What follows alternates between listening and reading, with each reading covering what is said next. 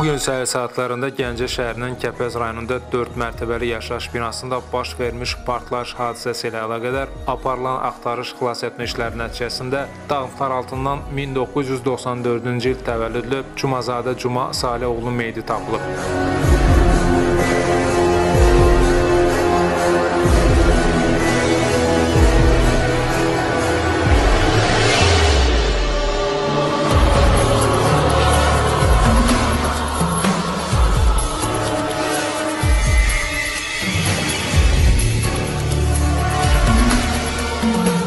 1997-ci il təvəllüdlü Məmmədəli Orxan Oqtayoğlu isə yaralı vəziyyətdə aşkarlanaraq xilas edilib.